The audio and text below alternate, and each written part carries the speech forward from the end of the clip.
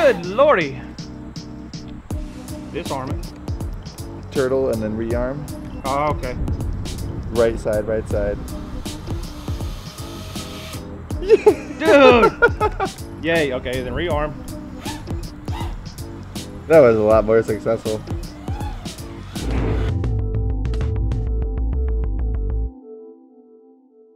Hi, welcome to Flite Test. I'm TJ, and this is Ian. And today we're going to talk about, well, turtle mode.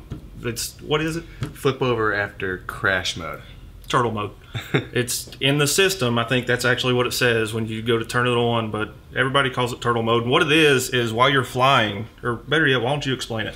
Well, basically, uh, it allows you to get back up after you've crashed. So if you go and hit a gate, or you hit a tree, or you hit anything essentially, and you land upside down, you can flip a switch on your transmitter and spool up only a select certain props and flop yourself back over, and then continue on. Instead of just turtle mode, where it flips you back over, what else is included whenever you do the update? Well, uh, now with uh, Release Candidate 5, you can tone your motors. Um, they'll vibrate and twitch from the ESC as a beeper function. Um, if you don't have a beeper or you don't want to pay So for they one actually installed. Yep, and they'll noise. tone. They'll, they'll tone and uh, they'll twitch, and it'll be loud enough you'll be able to hear it. So it's pretty much like whenever you start your quad up, you hear those noises from your ESCs. Mhm. So it's just making those noises. Yep. Will it hurt your motors if your props are like if it's stuck upside down and you can't turtle mode it? Will it hurt it? Uh, yes, you can burn out ESCs uh, if your motors are bound up um, and you're trying to spin them. Um, the idea is, you know, proceed with caution. Um, but usually, when you're in the FPV camera, Mm-hmm. you can kind of see and tell that there's one side that is higher than the other, or the front's higher than the other, or maybe your your nose is in the ground and the back, you know, Okay. are, are out. You can spin just those props. And then the same free. thing if you're using it as a beeper, you don't want to just turn it on and leave it on for five minutes. Actually, wanna- the beeper function should be good for Really? about as long as you need it to. okay. Yeah. Well, why don't you show us how to get this done? All right. So the first step will be to go into our Google Chrome, open up the apps, select Betaflight. We'll go into our firmware flasher tab. And then this is where we're going to want to click on this little tab that says show unstable releases. Now it's unstable. Does that mean I don't want to use it? Not necessarily, that just means that Yeah. they're working on it Okay. and that they are possibly working on some improvements. You may not have the most up to date, but they're it's it's in the revision process. So it's just saying that the turtle mode as it is now is just pretty much being tested. Correct. And so if you do the unstable releases, just be aware that it may have some effects that you don't want to see. But at this point of us making this video, this release is working out pretty well for everybody. Yeah, it's been fairly stable for me Cool. and for a lot of others. So then what we'll want to do is we will want to select the board that we're using, which in our case we're using the Lux V2 Race mm-hmm. from Lumenier. Then we'll choose the firmware, and the firmware we're going to want to select is 3.2 RC5. That's Release Candidate 5. So release candidate just means that's what they made. Right. It's their out. fifth revision. They've Cool. had a, a fourth, but the fifth is obviously better than the fourth. so we'll go with Release Candidate 5. All right. We will load our firmware online. This you will want to be connected to the internet for. Now while it's loading here, we want to have no reboot sequence and full chip erase. Correct. So Okay. we're going to want to erase any uh, previous data that's been on the board previously. And then we don't want to reboot it. Uh, we want to manually connect ourselves. Cool. So then we're going to want to go ahead and plug in our quad. Luckily with the Lux V2, we have a bootloader button. Um, some other flight controllers may be two pads you may have to jumper. Um, or it may even be as simple as being able to go into the uh, CLI interface in Betaflight and just typing in DFU, and it will then go into a DFU mode. Um, in this case, we have a very easy button, so we'll be pressing that button while we're going ahead and plugging in the USB simultaneously. That will get us in a mode called DFU, which we see up here in the top corner. Then what we'll want to do is flash our firmware. Right now it's erasing the data that was previously on the board and then it will go ahead and flash and then it will verify our flash. And while it's flashing here, one thing that I've done because you know obviously here we flash a lot of boards. Yes. So for me, it's hard for me to hold the quad and then plug it in depending on where the button is. Correct. So I tend to leave it plugged into the flight controller, hold the button, and then plug it into the computer. Yeah, that's another That's really easy way to do it. Different ways to do it. Looks like we're successful. So we have a successful flash there. We So you just unplug it and plug it back in. go ahead and unplug it. Then we're going to want to go ahead and plug it right back in, like you said. And then we're going to connect. And then this is where we'll have our average flight controller setup. We can calibrate our accelerometer here if we're using one. You know, reset any settings back to defaults if we would like. Um, for instance, in ports here, this is where we have our modes for uh, what receiver we're using. In our case, so we're going to need to be on UART4. We will save and reboot. That's for your receiver. That's for our receiver. In our case, we're using a Spektrum Autobind serial receiver. Then we'll go, we'll go ahead in configuration. Now, to get the flip over after crash mode or the D-Shot ESC tones for the beeper, you, Cough turtle mode. turtle mode, you uh, you will need to be running a D-Shot six D-Shot um, ESC protocol. It doesn't matter if it's D-Shot uh, 150, 300, 600, or 1200. It needs to be digital shot. So we're going to go ahead and do 600 because our ESCs are capable of that. cool. Come down here and select our correct receiver provider, which is Spektrum 2048. And some cool uh, added features of Betaflight 3.2, we have some things such as dynamic filters, anti-gravity.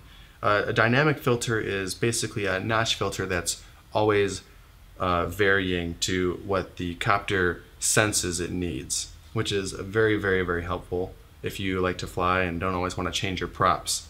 So I like to enable those right off the bat. So pretty much if we have a bent prop, it'll Yeah. smooth it out. It'll, notice the frequency and then add the filter there when it's needed while flying. See now, now we're getting into something where we may need another video. Just Betaflight 3.2 altogether. I also like to select air mode. Makes it uh, fly a little bit better, in my opinion.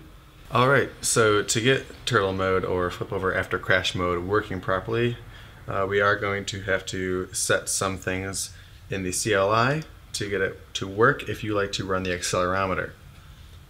So we're going to have to set a small angle command that will allow us to basically arm the quad in any orientation.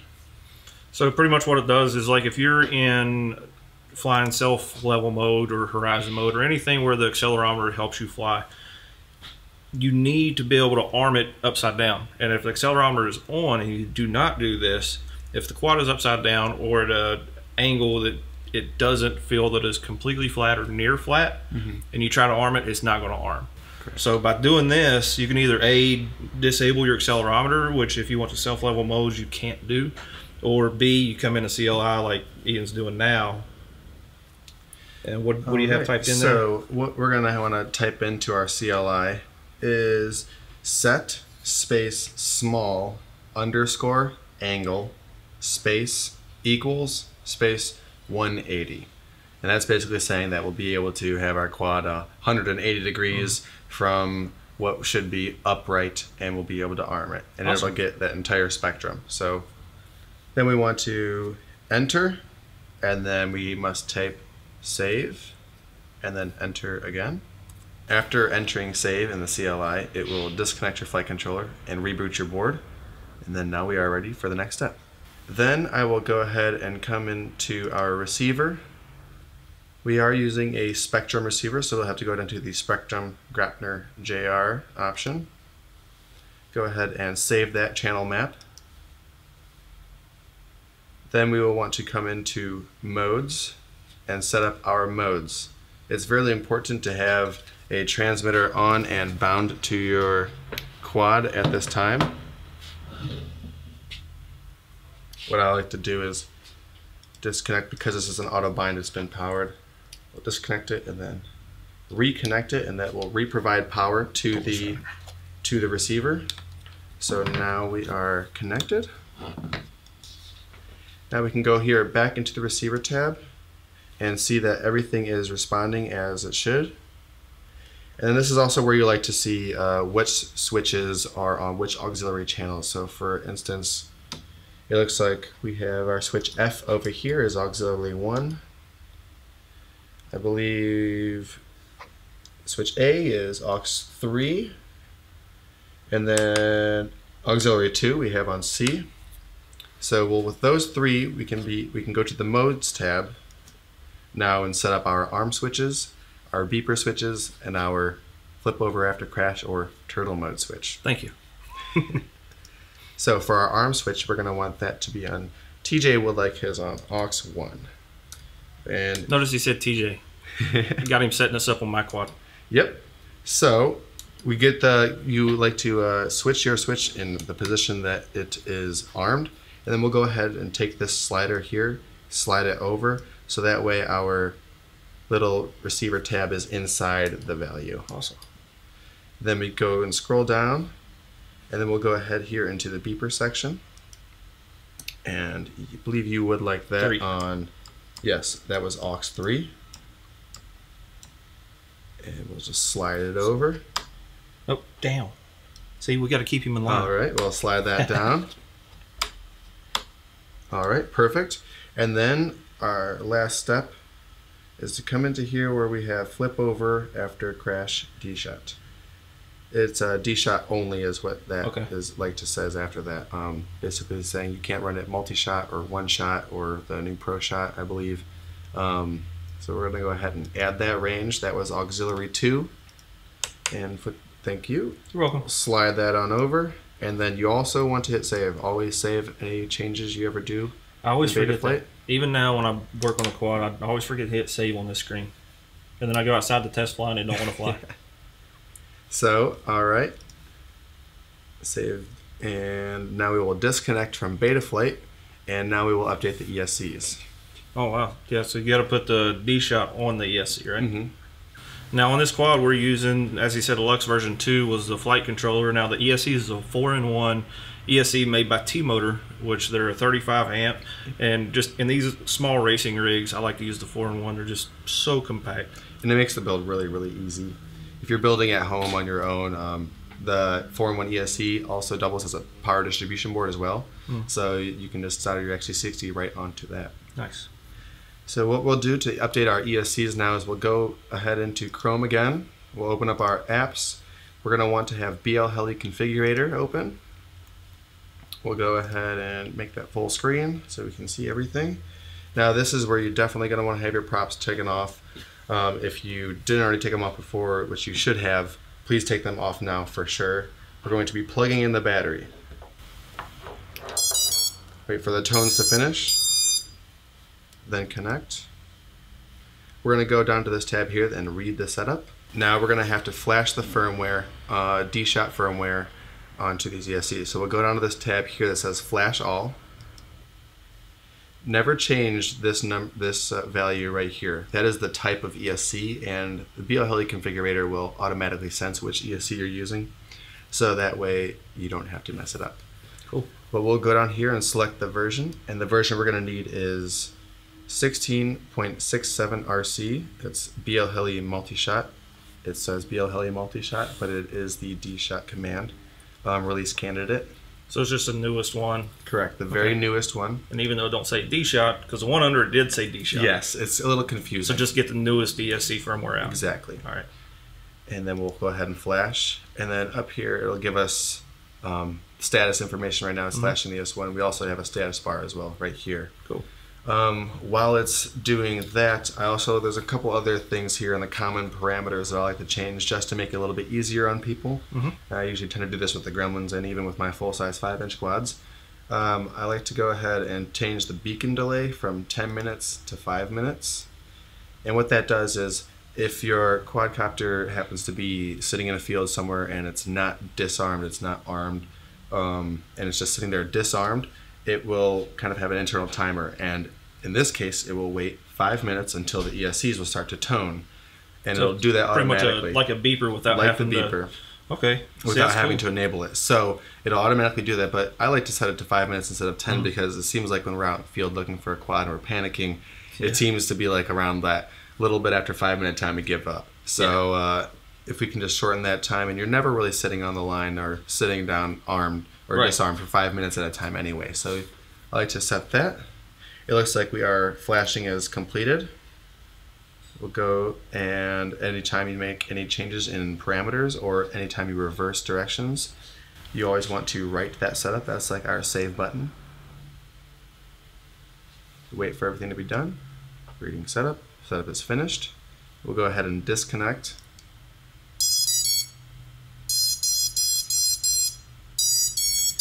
And there's one final step before we go out and fly. We want to double check our motor direction and make sure everything is spinning the proper way. Now with D-Shot, it is not required to calibrate the motors. So we'll just go ahead and double check that they are spinning the right way. Go in here. Also, remember to click the I understand that I have removed the propellers because we have removed our propellers. And then I'll like to go up here on the master slider and just get the motors spinning and make sure they're spinning the right way. All right, this goes in. So when you're looking at the quad like that, the bottom right is clockwise, Correct. and that's just opposite. So bottom right's clockwise, top left's clockwise, counterclockwise top right, and counterclockwise bottom left. Exactly. I like to think the opposing motor is always going the same. So Nice. these guys always go this way, and these guys always rock that way. Unless you're running a reverse prop, but we're not going to get into that. So it looks like we're good. So we can disconnect, turn everything Correct. off, We will go ahead and put some props on, and then you can go outside and show me how turtle mode actually works. Yes. All right, now that you got everything set up, you got the turtle mode, you have the the nice fancy beepers, Yep. and all the fun stuff. We're ready to test this out. Oh yeah. And pretty much the only thing we're going to do to test it out is put it on the ground. Ian will flip it around a little bit, and then I, I kind of want to get it stuck on the roof. Right. All right. So now that we're upside down, we're gonna make sure we're disarmed. We're gonna enable our, tur- our turtle mode. Then we will go ahead and rearm. Notice which props are exposed the most, and then push in that direction. In this case, it's the front props, so we'll push forward. Go slow, slowly with it, and stop. Disarm. Disable turtle mode. Rearm. Continue on. Dude, I just do come back over here, do do half a roll, and disarm. There we go. okay, that's one way to get it. We're So- gonna have to get new shingles. Yeah. So normally in this situation, we would have to be getting the roof, and then I would be climbing on the roof. I like how you said that because how many times have I had you get on the roof to get my quads? Probably two or three times already. But now we can dude. That's turtle mode it. So awesome. So if you don't have an actual beeper installed, you can uh, select it in the beeper modes. And basically what it'll allow you to do is use your motors as a beeper. So what we'll do is we'll hit this. And as you can hear off in the distance, the ESCs are toning. That's awesome. I like how we have the regular beeper plus the motor, so it makes like a cool sound. Mm-hmm. Man, I appreciate it. Yeah, this no is problem. actually your first real episode, huh? Yep. Been in vlogs and Mm-hmm. so it's kind of funny. We were talking earlier. The first one I was ever kind of a co-host in was learning how to do air mode. this is about making friends, and for the first time in nine years, I have friends. and now we're flipping quads that are upside down. It's it's crazy how far this stuff comes, and Yeah. you know it's been only a little over a year. Yeah, the mini quad industry moves so fast. Yeah, right. So anyway, like I said, hope you learned something. Turtle mode, if you don't have it in your race, you might want to get it. And uh, other than that, the beeper is a great function. Yep. And dude, I appreciate you doing this. Yeah, no problem. Look forward to the next thing you teach me. Heck yeah. There'll be more. I love it. Anyway, guys, we do four or five episodes a week. If you haven't subscribed yet, subscribe. Click the little bell beside that because you have to in order to get notifications now. So appreciate you watching. We'll catch you next time.